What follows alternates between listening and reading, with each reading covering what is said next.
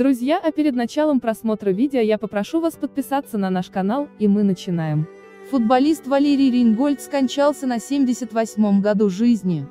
Экс-футболист московского «Спартака» Валерий Рейнгольд был доставлен в реанимацию. Во вторник, 11 февраля 2020 года. Ему стало плохо на спортивном турнире в честь 110-й годовщины со дня рождения футболиста Владимира Степанова. Рейнгольд потерял сознание не мог прийти в себя, пока не прибыли врачи скорой помощи. После госпитализации 77-летнего ветерана спорта поместили в реанимацию, но спасти ему жизнь не удалось.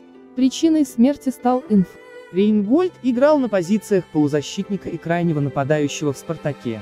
В составе этой команды в 1962 году стал чемпионом СССР. Друзья, подписывайте на наш канал, чтобы не пропускать наши новые выпуски и на этом мы с вами прощаемся, всем пока.